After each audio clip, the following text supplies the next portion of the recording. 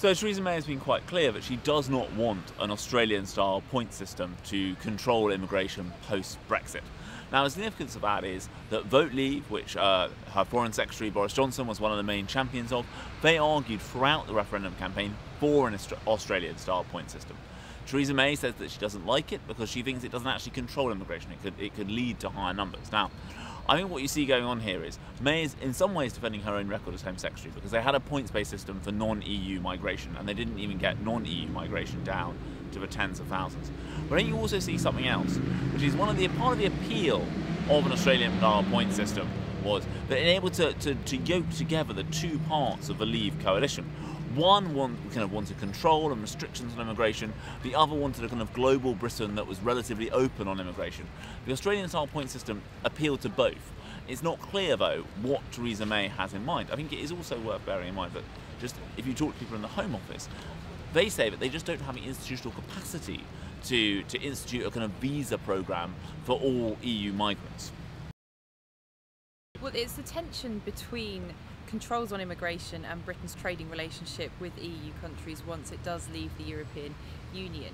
The, the theory is that you can't really have strict controls on immigration whilst remaining in the single market. It doesn't seem as though European leaders are particularly keen to start reforms to what they've always said is a fundamental cornerstone of the way the bloc operates. And to benefit from the single market, you'd have to sign up to those to freedom of movement within the European Union with, with other European Union countries.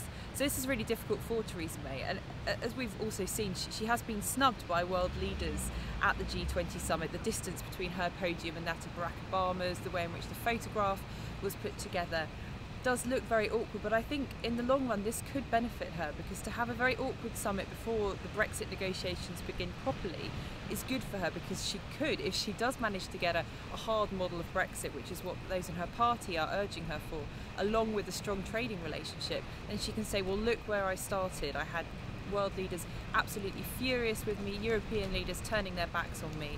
Barack Obama talking about Britain going to the back of the queue in trade negotiations, but I managed to secure us a deal anyway. But that's a big if because she still has to actually do those negotiations. And David Cameron spent the EU referendum campaign claiming that he'd had a very difficult start, but he never actually managed to recover from that, which was a fundamental flaw in his campaign.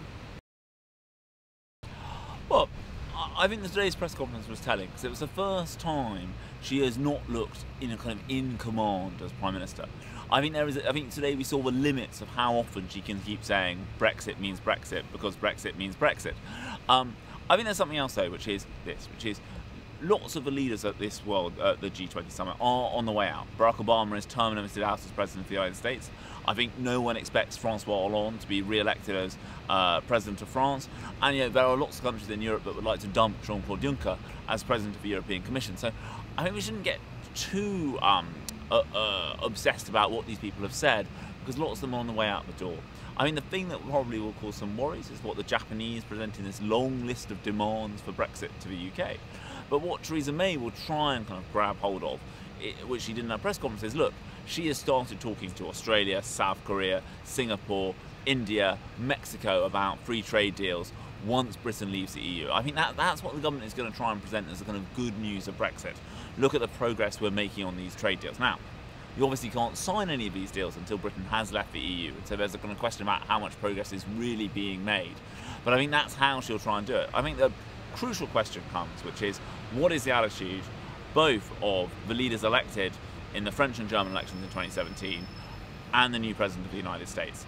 If TTIP dies, which I think is the most likely thing, that is the EU-US free trade deal, then um, there might be not much of a queue for Britain to end up skipping.